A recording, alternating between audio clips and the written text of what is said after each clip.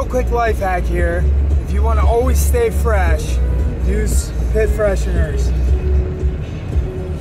Deodorant is so 2022.